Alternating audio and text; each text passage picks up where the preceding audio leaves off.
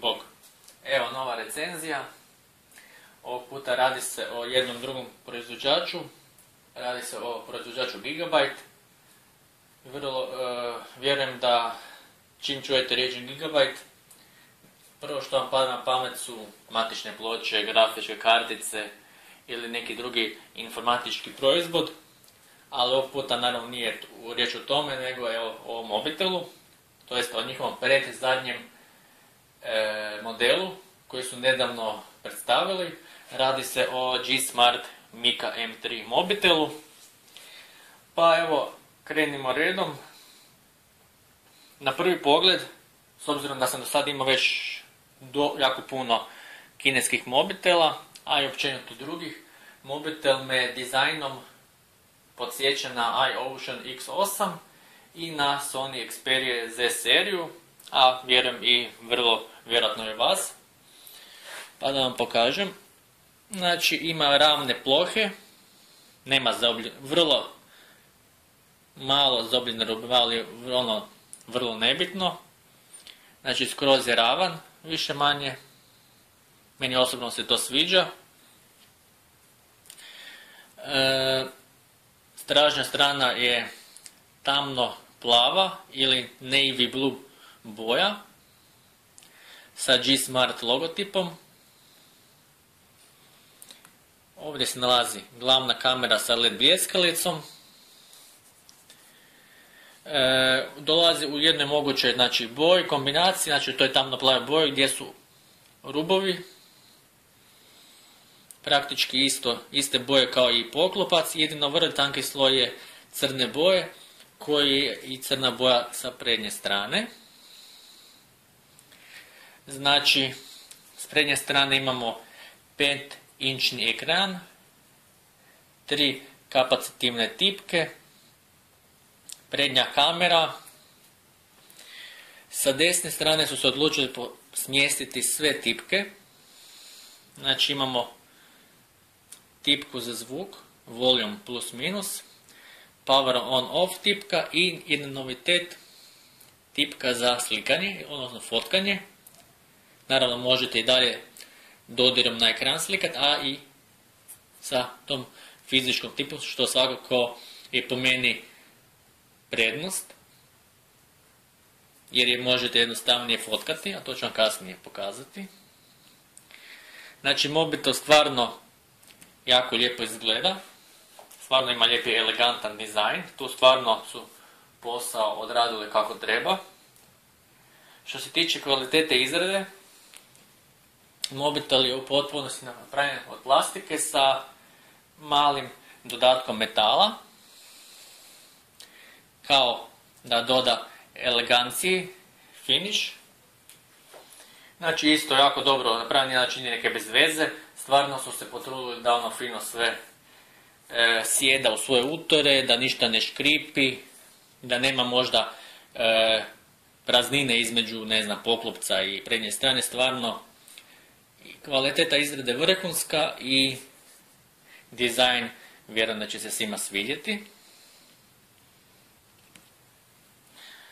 E, što se tiče ekrana, znači rekao sam ima 5 inčni ekran HD rezolucije, odnosno 1280 x 720 piksela.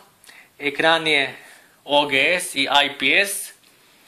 Moram priznati se, ono, oduševljen sa ekranom, stvarno prikaz boja, oštrina, kut gledanja, čista petica, ono, stvarno, e, evo, mogu prikazati, koliko ćete moći to vidjeti, znači, evo, kut gledanja, sasvim normalno se vidi. Iz bilo kojeg kuta.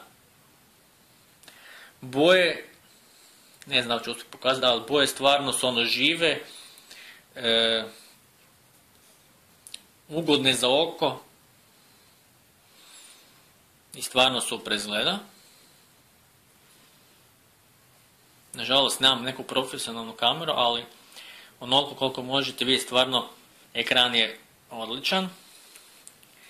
Oštrina je također baš 5 inča i HD odlično. Digitize, znači kako e, ekran funkcionira na dodir, isto bez problema, ne treba ništa posebno stiskati, lagani dodir, gore dole, sve fino radi. Jedini, ajmo reći, minus što, se tiče ekrana je što nema e, zaštitu ekrana poput Gorilla Glass, ali iskreno u ovom cijenovnom rangu možda, možda jedan ili dva mobitela imaju zaštitu, ostatak nema. Znači u principu ne možemo previše prigovoriti zbog toga. Ok. E, što se tiče hardvera i performansi uređaja, ako ste možda provjeravali tehničke karakteristike ovog uređaja, mogli ste vidjeti da se radi u principu o uređaju sa srednje jakim hardverom. Znači, e, G-Smart Mica M3 je baziran na četvrojezgranom procesoru sa maksimalnom brzinom 1,3 GHz, odnosno sa Mediatek MT6582 chipsetu. Ima 1 GB RAM-a, 8 GB unutarnje memorije, od čega je oko 5 GB krajnjem korisniku slobodno. I za grafiku je zadužena mali 400 MP2 grafika. Znači, radi se o čistom solidnom hardveru s kojim ćete više manje moći u principu sve svoje svakodnevne potrebe izvršavati, znači od čitanja e-maila, surfanja po internetu i naravno do igranja igrica. Pa da, također sam probao osobno nekoliko igrica, testirao sam ga sa nekoliko benchmark aplikacija pa možemo pogledati rezultate. Evo, na primjer, Antutu Benchmark 5, solidnih 17.593 boda, za ovaj je rak čisto ok, mada za krajnje korisnika najčešće taj rezultat je nebitan jer iskreno e, većini ljudi bitno da funkcionira sve što im je potrebno i sad bitno da neki uređaj postiže 20.000 bodova ili 50.000 kao trenutno neki top modele. Pa e, možemo pogledati informacije o uređaju i u Antutu, znači G-Smart, G-Smart Mica M3, Android 442, HD ekran, glavna kamera je 13 megapikselna, da li ima root access, nema, 32 bitni procesor, evo, temperatura 25 stupnjeva u bateriji, dobro, možemo pogledati CPU gdje sam pokazao,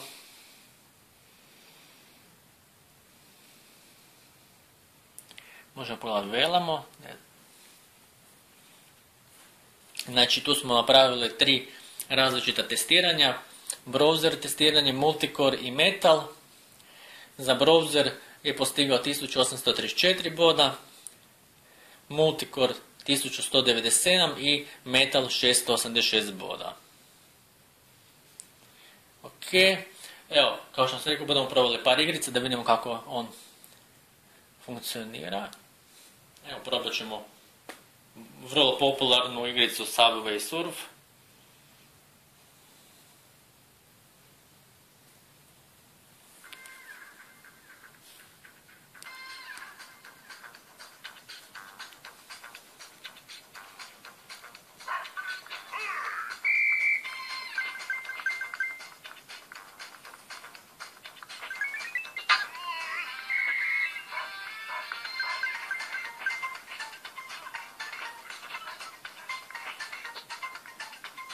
Evo kao što možete, učitavanje igrice bilo sasvim normalno, brzo.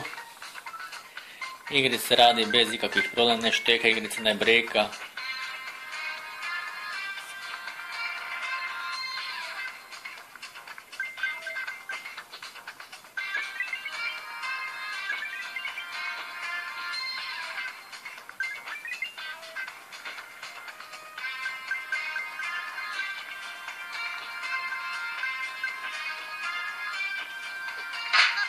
Добре.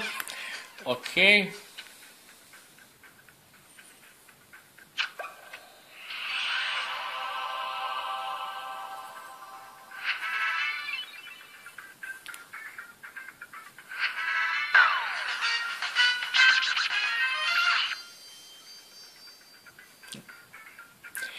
Можемо чехом. Quit. Evo, možemo probati, na primjer, Turbo Fast. Ne, ne radi. Ajmo probati onda GTA San Andreas. Također, jedna od popularnijih igrica.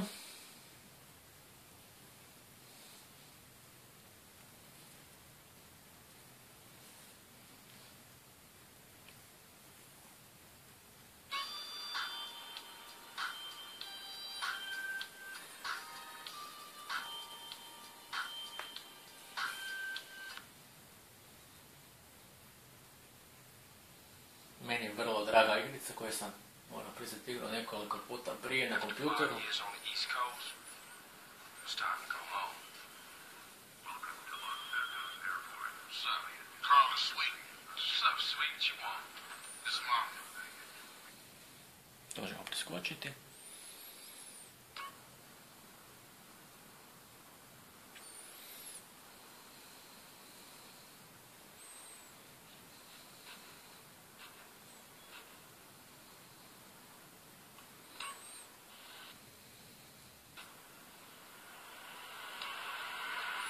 Isto također igrica radi sasvim normalno. Samo ja ne znam voziti taj bicikl, to samo malo.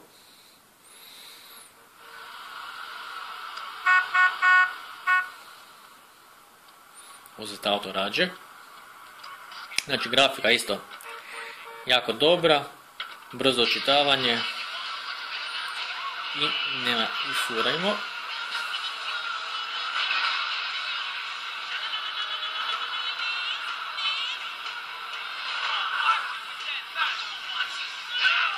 Sorry.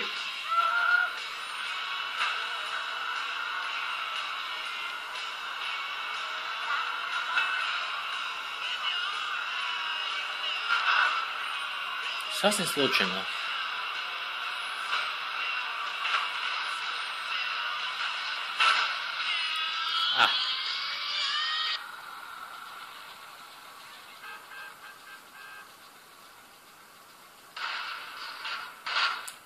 Sam preživjeti, to je dobro.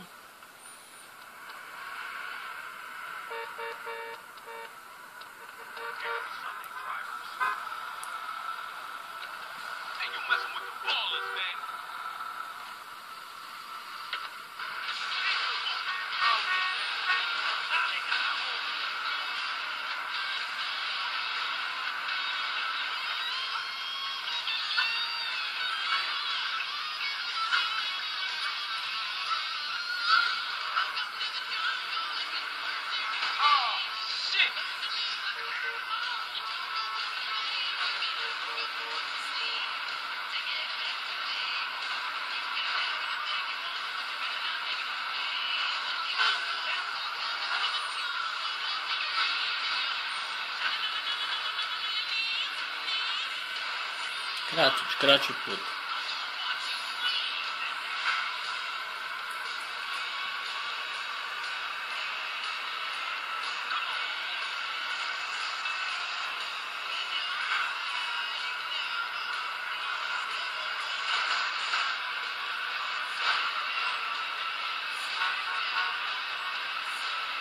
Evo kao što možete vidjeti igrica radi normalno. U svakom slučaju moći ćete igrati igrice.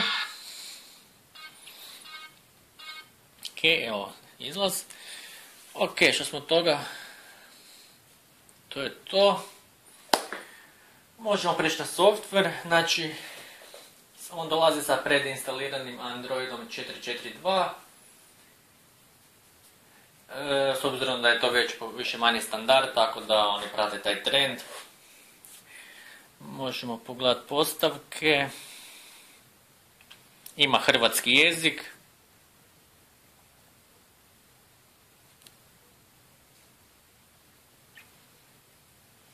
Također, da vidimo samo malo e, o telefonu.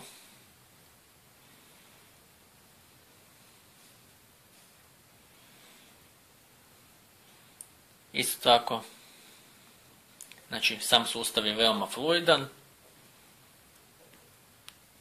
Osim što je fluidan, dolazi sa nekoliko osnovnih aplikacija, mislim ne osnovnih, nego dodatnih aplikacija poput Battery doktora, e, dolazi s e, još Torchlight i još jedna aplikacija CM Security, znači antivirusni program. Za sad se funkcionira dobro. Možemo isprobati Torchlight. Vrlo jako svjetlo je. Znači, bez svjetla, sa svjetlom. Dosta jako svjetlo. Dobro. GPS sam probao i GPS radi. Znači, dobro su se napravili. Instalacija antene i ostale postavke i, i sa softverske strane. Znači, GPS apsolutno radi normalno. Nisu potrebna nikakva dodatna podešavanja. E, s obzirom da sam unutar kuće ispod betonske deke nema nažalost probati GPS jer bi bio stvarno pre, pre slab signal, ali u pisanoj recenziji možete to vidjeti. Ok, što se sad tiče kamera, prednja kamera je 8 megapikselna i jako dobra. Za selfije i slično, stvarno super kamera. Dok stražnja kamera je 13 megapikselna, ima opcije poput autofokus, e, pa ne znam, sve one standardne opcije koje inače ima, znači HDR, face detection i slično. Kamera je stvarno dobra, nije odlična, ali je vrlo dobra, znači čista četvorka. E, u ovom cijenom rangu inače je teško pronaći mobitel koji ima dobru ili vrlo dobru kameru. Uglavnom su to lošije kvalitete kamere, to jest kamere sa lošijim čipom i senzorom. U ovom slučaju to nije, e, Gigabyte ipak ponudi uređaj koji je pristupačan, pristupačan svima, a stvarno ima jako dobru kameru i fotografije su jako dobre, vrlo oštre, boje su na fotografijama vrlo prirodne, mislim bit ćete uglavnom zadovoljni. Također, jedina nova ajmo funkcija, ali je zapravo novitet kod ovakvih uređaja je što dolazi sa tipkom. Znači, vi možete fotografirati, evo uključimo fotoaparat. On kad fokusira, na primjer, evo ga, fokusirat ćemo ovo.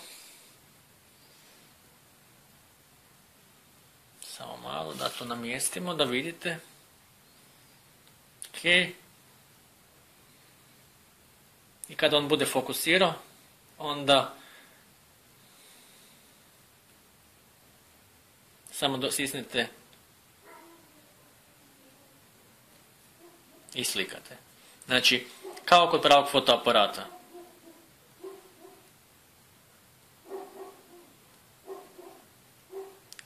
Dovoljan je samo stisak na gumb i on slika. Ne trebate stiskati ekran. Znači, u svakom slučaju prednost